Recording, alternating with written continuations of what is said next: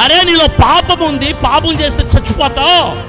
బ్రతుకు మార్చుకో అని చెప్పట్లా చాలామంది సేవకులు. ఎందుకు తెలుసా? అలా చెప్తే విశ్వాసుల హృదయాలు గాయపరచబడి వాడికి కోపం వచ్చి నా మీద అలిగేసి చర్చి వదిలేసి వెళ్ళిపోతే నేను ఎట్లా? స్వార్థానికి ఆలోచించుకొని విశ్వాసులను ఎప్పుడు నవ్వించే వాక్యాలే విశ్వాసులను ఎప్పుడు ఉద్వేగపరిచే వాక్యాలే. ఒక పేషెంట్ డాక్టర్ దగ్గరికి వస్తే డాక్టర్ ఏం చేయాలి? గాయం అయితే ఏం చేయాలి?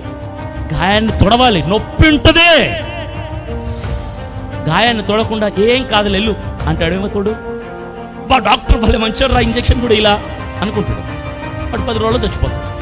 ఆ గాయం వల్లంత పాకి విషమైపోయి చచ్చిపోతాడు. నేటి సంఘాల పరిస్థితి కూడా అదే. సేవకుడికి సంఘం అప్పచెప్పడినప్పుడు ఒక మందకి కాపరిగా సేవకుడు ఉన్నప్పుడు చెప్పాల్సిన వాక్యం ఏంటో తెలుసా?